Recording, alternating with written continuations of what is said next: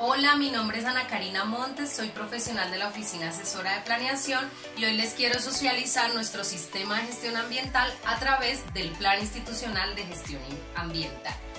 Para ello es importante partir de nuestra política del Sistema Integrado de Gestión, entendiendo que el instituto está dedicado a la promoción del turismo y a posicionar a Bogotá como un destino turístico sostenible. Para ello tenemos cuatro compromisos, pero hoy nos vamos a centrar en el primero, que es prevenir la contaminación, mitigación y o compensación de los impactos ambientales.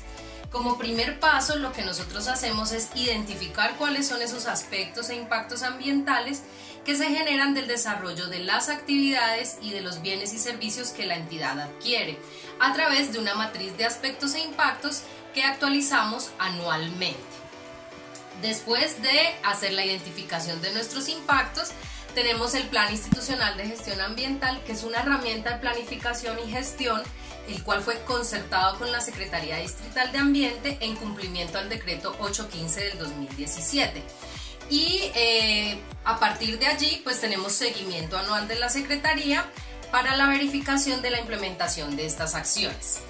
El Plan Integral de Gestión Ambiental cuenta con cinco programas los cuales buscan la mitigación de los impactos y lo que nos lleva es a reflexionar sobre el uso eficiente de los recursos que usamos al interior de nuestra entidad. A partir de allí entonces tenemos el programa de ahorro y uso eficiente del agua, el programa de ahorro y uso eficiente de la energía, el programa de manejo integral de los residuos sólidos, el programa de consumo sostenible y el programa de implementación de prácticas sostenibles.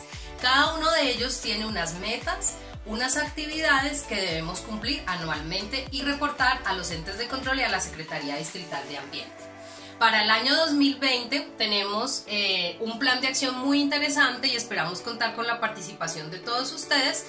Eh, acá resumimos algunas de las actividades que es la implementación del Plan Institucional de Movilidad Sostenible, realizar todo el proceso de capacitación en temas como manejo de residuos, ahorro de agua, ahorro de energía, mitigación y adaptación al cambio climático y movilidad sostenible.